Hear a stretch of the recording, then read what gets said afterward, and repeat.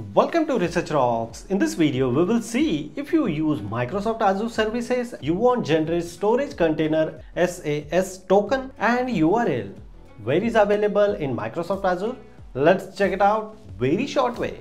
So let's start demonstration. First of all, you need to enter your Microsoft Azure portal using your credential. This is my username and password and we need to access token and SO and we want generate SAS token. It's very easy. Just simply enter here in your storage account. Inside the storage account, just simply enter here data and storage, the container. Inside the container, you just find out which container SAS token you want needed. I just simply click here my personal container.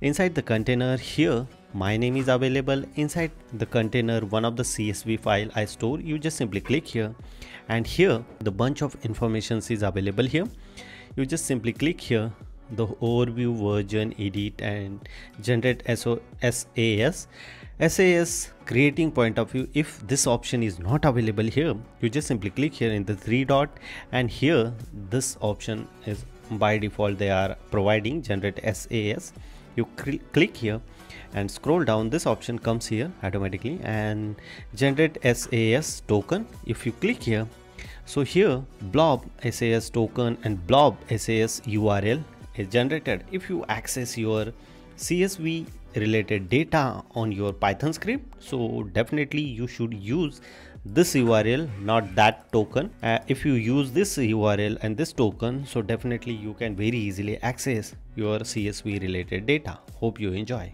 If you really like this video so please hit the bell icon, share this video and subscribe our YouTube channel Research Rocks. Till then Jai Hind, Vande Mataram.